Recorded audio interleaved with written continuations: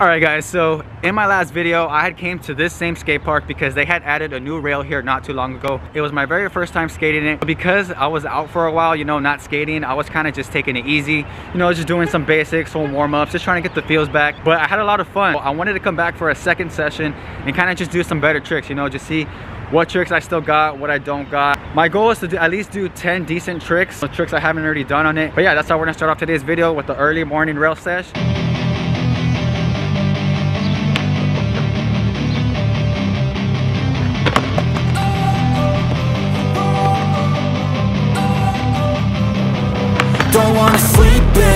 Cause I got something to prove. I gotta take what I hate and finally make a move. I think of you and all the shit you don't do. Well I'ma make hella sure that I don't become you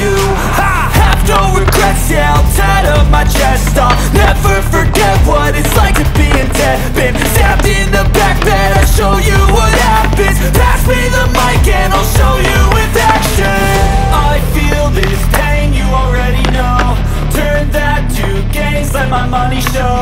I've got these things that I can't let go. Watch me turn this life into something that you could never own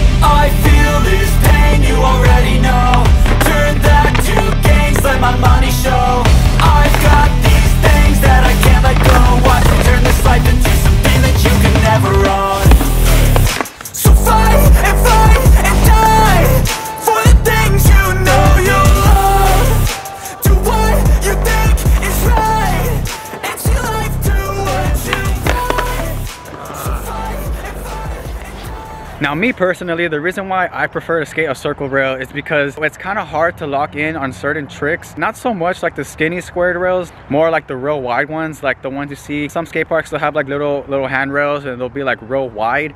And they're just kind of hard to like put your trucks in, like to like lock them in like the right way to like get through the grind. Okay, like so for example, I feel like, you know, Feebles, you know, backside or front side or even just like Smith grinds, backside Smith, front side Smith are like so much easier on circled rails. I don't know if it has anything to do with the kingpin. The grinds come out like way smoother. It's just easier to like go all the way through. I feel like squared rails are more for like sliding tricks. You know, it doesn't make a difference with slide you know, board slides or even just like your basic 50s you know you got both your trucks on there. That's just how i've always you know been comfortable you know with certain tricks on squared rails and circle rails. I just will always love skating circle rails more. But yeah let me know what you guys think. Yo nick. All right so i got a quick question. All right so what would you rather prefer to skate? A circle rail like a round rail or a squared rail? Circle. why?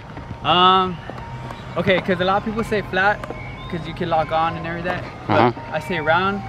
That way, whatever you learn on a round rail, you can take it to a flat bar like nothing. If you stick on a round rail, you stick on anything pretty much.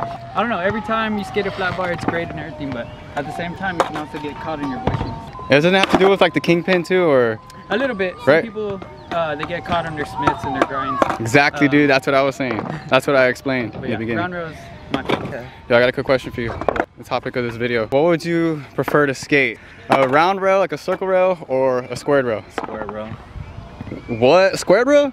Hell yeah, it's Why? easier. It's easier? Because it locks in place. A Yeah, round but- rail, you got to balance on it. I feel it's easier on a square rail. Circle rail is just too much work.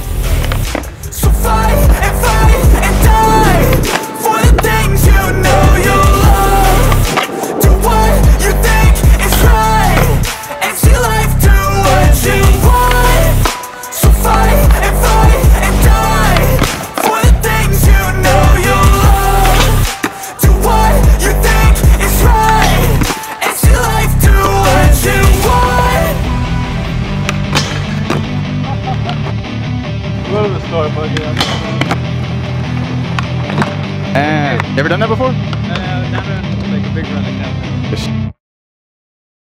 Don't wanna sleep in, cause I got something to prove. I gotta take what I hate and finally make a move. I think of you and all the shit you don't do. Well I'ma make hella sure that I don't become you.